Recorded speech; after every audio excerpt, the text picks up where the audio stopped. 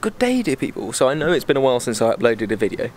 Uh, I decided to give you a little bit of an update, what's been going on, why I haven't uploaded, and what's to come.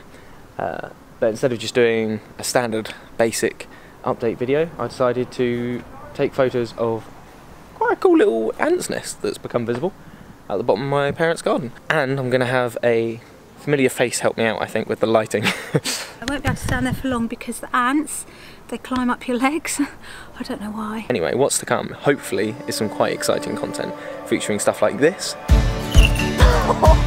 some of this, and hopefully a few of these. Yes! Come on! So all I'm going to do is basically even out the light, so there isn't harsh shadows. Yeah, it's true. I haven't been the best at uploading recently. Put simply, money, work and life in general was just getting in the way. Though hopefully that is all about to change. Oh, Hello, Pops.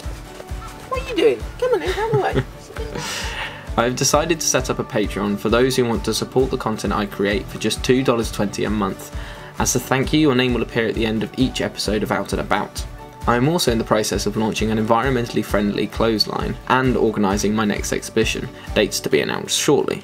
With all these things in place and with your support, I hope to be releasing at least one new episode of Out and About a month, as well as other little videos here and there, starting with the first new episode of Out and About on Saturday. So thank you for sticking around, and I hope to see you then. yeah, we're all good. Whew. Thanks for helping with that, Mum.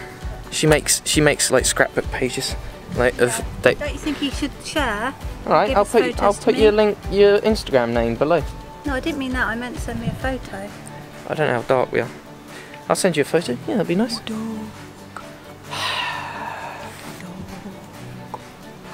What does that looks like? Don't want to reveal your age, Mum, but how old are you? 53. I mean, it's kind of nice. I hope I don't. I hope I keep that level of enjoyment of mine. Immaturity? I didn't want to say that, but I'm glad you did. I'm um, happier though. I'm happy with it. So, see you next time. Say goodbye, Mum. But, oh, bye. Bye. Oh, I'm Paul. See you next time. I'm Paul, who was in the Australia videos. Say bye.